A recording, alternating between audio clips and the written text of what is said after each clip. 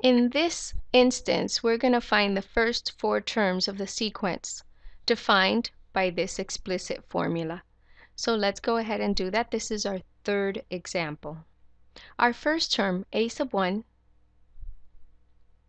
notice n is equal to 1, so anywhere there's an n, I'm going to write 1. So here's n, n is 1, and in the denominator 2 times 1, because n is 1, minus 1 and you get negative 1 to the first power is negative 1.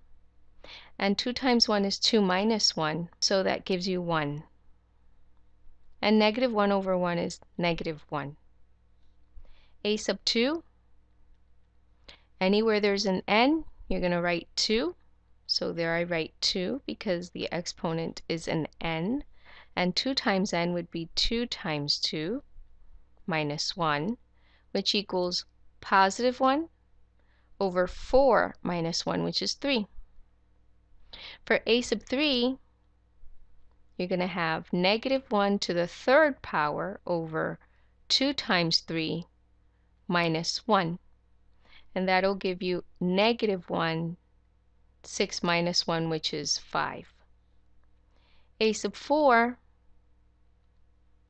is negative 1 to the fourth power over 2 times 4 minus 1. That equals positive 1 over 8 minus 1, which is 7.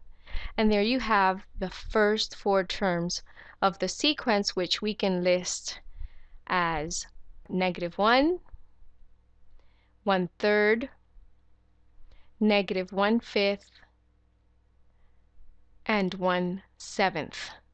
One thing I want to mention about this sequence is that this term, negative 1 to the nth power, um, whenever n is odd or whenever the position of the term is an odd position, which means position number 1, position number 3, those terms are negative. Notice that.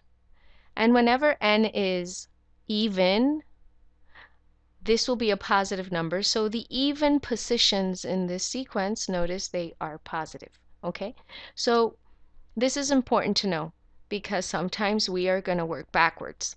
We're going to give you the terms of the sequence and you have to find the explicit form of the sequence. So if you notice that the terms are alternating in signs, then this would be the trick to obtain that. Okay, so very important to know. I'll see you in the next video.